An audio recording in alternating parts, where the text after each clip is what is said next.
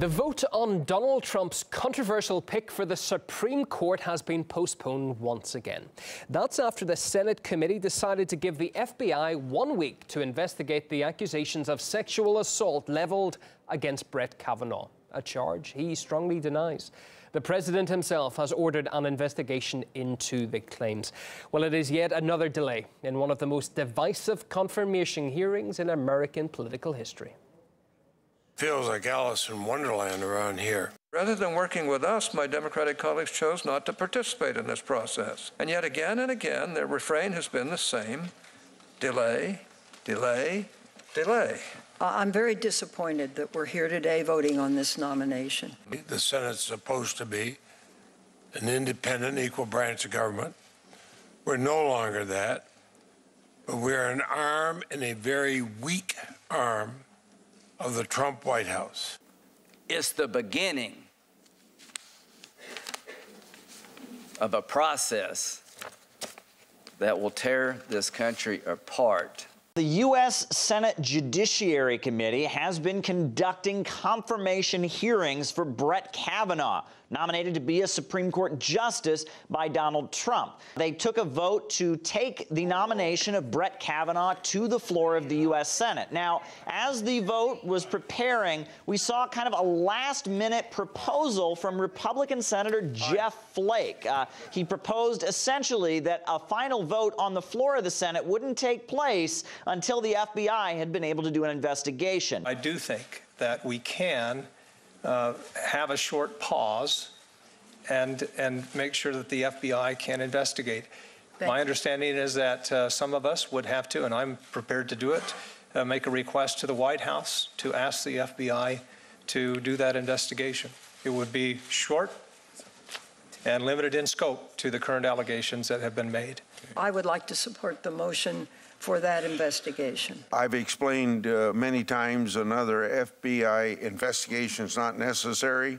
The nomination of Brett Kavanaugh has certainly divided the United States of America. Both sides very fired up about it. Um, and it appears that next week we will have a final vote in the U.S. Senate regarding his confirmation as a uh, Supreme Court justice in the United States, the highest court in the land. Uh, but it has been quite contentious, protests all around Capitol Hill, lots of accusations on both sides, lots of anger. Well, the scandal surrounding Judge Kavanaugh has triggered a severe partisan feud in the U.S. Republican Senator Lindsey Graham's comments in front of the Senate Judiciary Committee hearing on Thursday, well, it essentially captured the current level of animosity in Washington. In a bitter tirade, he accused the Democrats of a cynical attempt to derail Kavanaugh's nomination. What you want to do is destroy this guy's life, hold this seat open. This is the most unethical sham since I've been in politics. And if you really wanted to know the truth, you sure as hell wouldn't have done what you've done to this guy. However, Senator Graham's staunch defense of Brett Kavanaugh has drawn criticism too. American comedian Chelsea Handler even claimed that Graham is being blackmailed by Moscow. That's despite the fact Graham is renowned for his anti-Russian stance in the Senate. They're trying to break the backs of democracies. They're doing worse things in other countries. They're trying to get us to fight among ourselves. And here's what we should do. We should tell the Russians in no uncertain terms, you interfered in our elections. We don't care why. We're going to hit you and hit you hard. In Russia, it's not a normal country. Well, media and legal analyst Lionel told us the Russia blackmail claim against Senator Graham is nothing but absurd. The idea is so specious.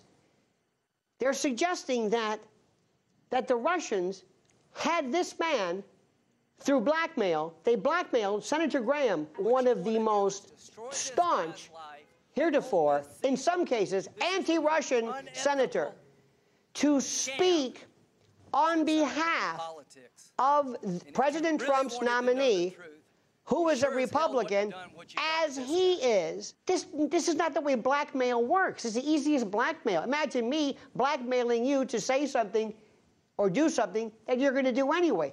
It doesn't make any sense.